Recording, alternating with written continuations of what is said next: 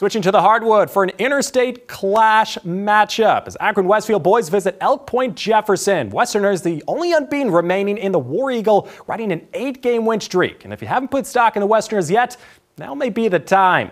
But it's senior night for EPJ. Huskies looking to honor its upperclassmen with the victory tonight. Akron Westfield though throwing the first punches. Leighton Koch driving and pump faking in for the buckets.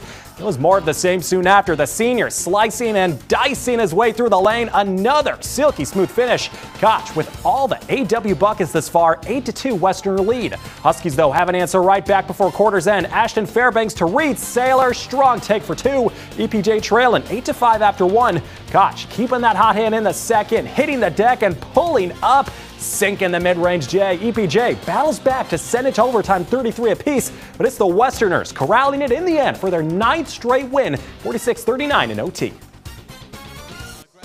Number 10, Sioux City East hosting MRAC leader Council Bluffs Lincoln. Video courtesy of our friends at Metro Sports TV. East up by 14 late. Fitzy Grant spinning his way for the score. That extends the edge 63-47. Lynx stopping the bleeding on the other end moments later. Bucket and the bruise off a strong take. But East was a beast from start to finish. Manasseh Kesongo Malu with the one-handed slam. Two of his 12 points as East flexes five players in double-digit scoring. They take sole possession of the MRAC 71-50 the final.